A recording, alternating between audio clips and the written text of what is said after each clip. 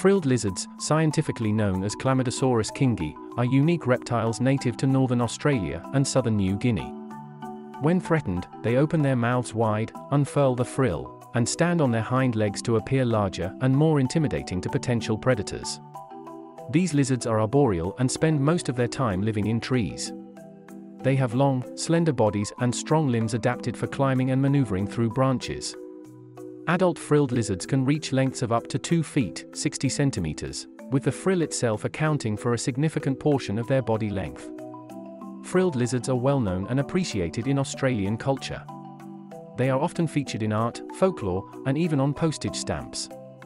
Frilled lizards are truly unique and captivating reptiles, known for their elaborate defensive displays and arboreal lifestyles. They are a symbol of Australia's diverse and remarkable wildlife.